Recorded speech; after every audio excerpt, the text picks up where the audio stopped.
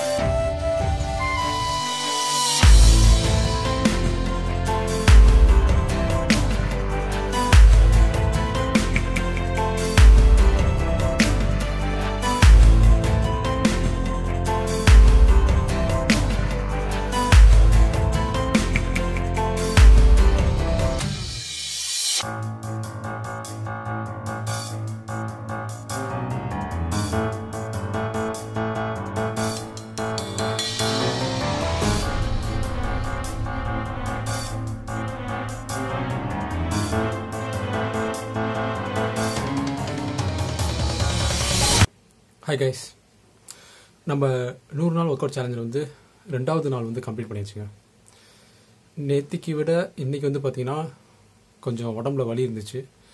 இந்த ஷோல்டரு இந்த இந்த ட்ரைசெப் அப்புறம் இந்த செஸ்ட் ரீஜன்லலாம் கொஞ்சம் பெயினுங்க அதிகம். அதுக்கு ரீசன் வந்து என்ன கேட்டிங்கன்னா நேற்று நம்ம போட்ட புஷ்அப்ஸு புல்லப்ஸ் இதுதான் ரீசன் ஸோ பெயின் வர்றது நல்லது தாங்க ஏன்னா இப்போ ஒரு இடத்துல பெயின் இருக்குது அப்படின்னா அந்த இடத்துல வந்து க்ரோத் இருக்குது அப்படின்னு தான் அர்த்தம். ஸோ நம்ம வந்து பண்ணுற ஒர்க் அவுட் வந்து எஃபெக்டிவாக இருக்குது அப்படின்றத நமக்கு வந்து ஒரு அறிகுறி ஓகேங்களா ஆனால் ஒரு விஷயம் நீங்கள் இதில் அண்டர்ஸ்டாண்ட் பண்ணிக்கணும். நம்ம பண்ணுற ஒவ்வொரு எக்ஸசைஸ்க்குமே வந்துட்டு ஒரு டார்கெட் ஏரியா இருக்குங்க ஓகேவா ஸோ இப்போ அந்த டார்கெட் ஏரியாவில் வந்து அந்த பெயின் வருது அப்படின்னா நம்ம பண்ணுற ஒர்க் அவுட் வந்து நம்ம கரெக்டாக பண்ணுறோம் இப்போ எக்ஸாம்பிளுக்கு சொல்லணும்னா இப்போ பிளாங்க் பண்ணுறோம்னு வச்சுக்கோங்க. பிளாங்க் வந்து டார்கெட் பண்ணுறது இந்த ஷோல்டர் செஸ்ட் இந்த ஆப்ஸ் இந்த ரீஜன்லாம் வந்து டார்கெட் ஏரியாஸ் ஸோ நம்ம பிளாங்க் பண்ணுறதுனால இந்த ஏரியாஸ்லாம் பெயின் வருது அப்படின்னா அதுதான் கரெக்ட் ஓகேங்களா? ஸோ நம்ம பண்ணுற பிளாங்க் வந்து எஃபெக்டிவாக இருக்குது அப்படின்னு நம்ம எடுத்துக்கலாம். ஸோ அதே மாதிரி தான் எல்லா எக்ஸசைஸும் ஸோ ஒவ்வொரு எக்ஸசைஸ்க்கும் வந்துட்டு ஒவ்வொரு டார்கெட் ஏரியா இருக்கும். ஸோ அதை நம்ம தெரிஞ்சு அண்டர்ஸ்டாண்ட் பண்ணி நமக்கு இன்றைக்கி கூகுள்லேயே எல்லாமே இருக்குது இல்லைனா யூடியூப்பில் இல்லாத கண்டென்ட்டே இல்லைங்க. ஸோ நீங்கள் அந்த நீங்கள் வந்து வீடியோஸ் பார்த்தோ எப்படியோ நம்ம வந்து லேர்ன் பண்ணிக்கலாம். ஸோ அதை தெரிஞ்சுக்கிட்டு நம்ம பண்ணும்போது நம்ம கொஞ்சம் ஈஸியாக இருக்கும். நம்ம பண்ணுறது என்னன்னு தெரிஞ்சுட்டு பண்ணுவோம். அதாவது ஃபாஸ்ட்டாக தப்பாக பண்ணுறதுக்கு ஸ்லோவாக கரெக்டாக பண்ணால் ரொம்ப ரொம்ப நல்லதுங்க. ஸோ பண்ணும்போதே நம்ம கரெக்டாக பண்ணிட்டு வந்துட்டோம் அப்படின்னா பின்னாடி வந்துட்டு எந்த ஒரு இன்ஜுரியும் வராமல் இருக்கிறதுக்கு நம்ம தவிர்க்கலாம்.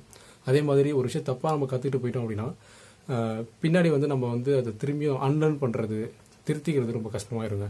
ஸோ நம்ம வந்து ப்ராக்ரஸ் வந்து ரொம்ப ஸ்லோவாக இருந்தாலும் பரவாயில்ல. ஸ்டெடியாக கரெக்டாக பண்ணணுங்க. அப்புறம் இன்றைக்கி வந்து எக்ஸசைஸ் பற்றி சொல்லணும் அப்படின்னா நேத்திக்கு பண்ணதில் வந்துட்டு புல்லப்ஸ் இன்றைக்கி வந்து நான் ஃபெயிலியருங்க நேத்திக்கு ஒரு அஞ்சு புல்லப்ஸ் தான் வச்சு போட முடிஞ்சுது. பட் இன்றைக்கி வந்து மூணு தான் போட்டேன். அதுவுமே ரொம்ப கஷ்டப்பட்டு தான் போட்டேன். ஒன்றும் பிரச்சனை இல்லைங்க. இன்றைக்கி கொஞ்சம் அப்படி இருக்கும். பட் ஆனால் நாளைக்கு நாளானைக்கு அப்படி போகும்போது ரெகுலராக அதை நம்ம ரிப்பீட் பண்ண பண்ண நமக்கு அந்த பெயின் வந்துட்டு நம்மளுக்கு வந்து பாடி வந்து அடாப்ட் ஆகிரும் ஸோ அது ஒன்றும் பெரிய ப்ராப்ளம் இல்லை. ஸோ நம்ம அது வந்து ரெகுலராக பண்ண பண்ண ப்ராக்டிஸ் ஆகிரும் ஸோ அது ஒன்றும் பிரச்சனை இல்லை. அது நல்லது தான் ஆக்சுவலாக ஸோ நமக்கு வந்து பெயின் வர்றது நமக்கு ஒரு அறிகுறி மாதிரிங்க. ஸோ நம்ம வந்து பண்ணுறது வந்து நமக்கு அந்த க்ரோத் இருக்குது அப்படின்றத நம்ம அண்டர்ஸ்டாண்ட் பண்ணிக்கலாம். இந்த வீடியோவில் வந்து நான் ஒர்க் அவுட்டை தாண்டி ஒரு சில விஷயங்கள்லாம் பேசணும்னு நினச்சேங்க. எனக்கு வந்து ஒரு ட்ரீம் இருக்குது ஒரு ஆசை இருக்குது அதை நான் பண்ணணும்னு நினைக்கிறேன். அது எனக்கு பிடிச்சிருக்கு. பட் ஆனால் என்னை சுற்றி இருக்க யாருக்கும் அதை பற்றி அக்கறையே இல்லை. கேர் பண்ணிக்க மாட்றாங்க. சப்போர்ட் பண்ணிக்க மாட் சப்போர்ட் பண்ண மாட்றாங்க. கொஞ்சம் கஷ்டமாக இருக்குது இந்த மாதிரிலாம் ஃபீல் பண்ணுறீங்க அப்படின்னா யூஸ்வல் தாங்க அது. அதாவது ஒரு ஒரு கோல் இருக்குது ஒரு ட்ரீம் இருக்குது அதை அச்சீவ் பண்ணணும்னு நினைக்கிற நிறைய பேருக்கு வரக்கூடிய ஃபீலிங் தாங்க இது. ஸோ இது ஒரு நார்மலான ஃபீலிங் தான். நீங்கள் வந்து ஒரு விஷயத்தை நல்லா புரிஞ்சுக்கணும். ஒரு எக்ஸ்பெக்டேஷன் இருக்கும் இல்லையா? ஸோ நம்ம எனக்கு இந்த கோல் இருக்குது எனக்கு இந்த ட்ரீம் இருக்குது ஸோ மற்றவங்க வந்து இதை வந்து ரெஸ்பெக்ட் பண்ணணும் கேர் பண்ணணும் அப்படின்னு நம்ம ஒரு ஒரு லெவலில் வரையும் எக்ஸ்பெக்ட் பண்ணுவோம் ஓகேங்களா ஸோ அந்த எக்ஸ்பெக்டேஷன் வந்து ஒரு லிமிட்டோடு இருக்குது அப்படின்னா பிரச்சனை இல்லைங்க. பட் ஆனால் அந்த எக்ஸ்பெக்டேஷனே வந்துட்டு நம்மளை வந்து டீமோட்டிவேட் பண்ணுற அளவுக்கு இருக்குது அப்படின்னா நம்ம அந்த எக்ஸ்பெக்ட் பண்ணுறதே தப்புங்க. ஸோ ஏன்னா இப்போ நீங்கள் அதை எக்ஸ்பெக்ட் பண்ணுறீங்க அப்படின்னா ஸோ நம்ம எதிர்பார்த்த மாதிரி அவங்க வந்துட்டு பிஹேவ் பண்ணல நம்ம எதிர்பார்த்த மாதிரி நடந்துக்கல அப்படின்னா நமக்கு வந்து டிசப்பாயின்மெண்ட் வரும் கரெக்டாக ஸோ நம்ம அந்த மாதிரி டிசப்பாயிண்ட் ஆகிட்டோம் அப்படின்னா நம்ம ரெகுலராக பண்ணிக்கிட்டு இருக்கக்கூடிய ஆக்டிவிட்டீஸில் கூட நம்மளால் ப்ராப்பராக பெர்ஃபார்ம் பண்ண முடியாமல் போயிடும் ஸோ அதனால் நீங்கள் அந்த எக்ஸ்பெக்டேஷனை குறைச்சிட்டிங்க அப்படின்னா உங்களுக்கு ரொம்ப ரொம்ப நல்லது. ஸோ இப்போ உங்களுக்கு வந்து ஒரு கோல் இருக்குது அப்படின்னா அது உங்களுக்கு இம்பார்ட்டண்ட் அதை நீங்கள் தான் கேர் பண்ணி ஆகணும். அதுக்கு ஃபுல் ரெஸ்பான்சிபிலிட்டி நீங்கள் மட்டும்தான். ஸோ அதை வந்து மற்றவங்க கேர் பண்ண மாட்டாங்க. அவங்க கேர் பண்ணணும்னு அவசியமும் இல்லைங்க. ஸோ இது நம்ம ஃபஸ்ட் அண்டர்ஸ்டாண்ட் பண்ணுறோம் அப்படின்னாலே நம்ம அந்த எக்ஸ்பெக்டேஷனை கண்டிப்பாக குறைச்சிருவோம். ஸோ அந்த மாதிரி எக்ஸ்பெக்டேஷன் குறைஞ்சிச்சு அப்படின்னா டிசப்பாயின்மெண்ட்டும் இருக்காது. நம்மளோட கோலை நோக்கி நம்ம வந்து ஈஸியாக வந்து ட்ராவல் பண்ணுறதுக்கு ஹெல்ப் பண்ணும். ஸோ இதோட நான் வந்து இந்த வீடியோ முடிச்சுக்கிறேங்க. நம்ம நாளைக்கு பார்ப்போம். இதுவரை நம்ம சேனல் சப்ஸ்கிரைப் பண்ணாமல் இருந்தீங்க அப்படின்னா சப்ஸ்கிரைப் பண்ணி சப்போர்ட் பண்ணுங்கள் நான் மட்டும் என் கோலை ரீச் பண்ணால் பத்தாதுங்க. நீங்களும் உங்கள் கோலை ரீச் பண்ணோம் ஸோ நம்ம நாளைக்கு பார்ப்போங்க. Until then this is Srinath and stay bold